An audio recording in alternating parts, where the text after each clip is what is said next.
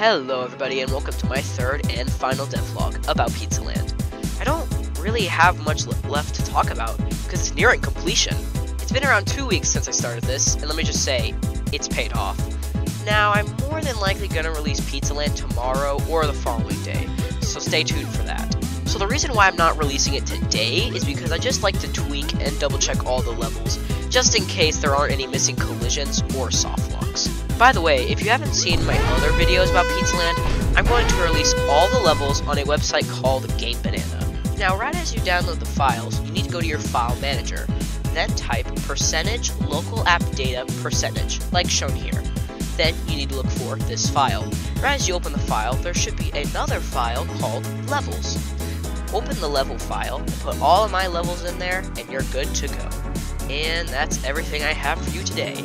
Now, it's a secret to everybody that you should subscribe. I'll see you in the next one. Bye.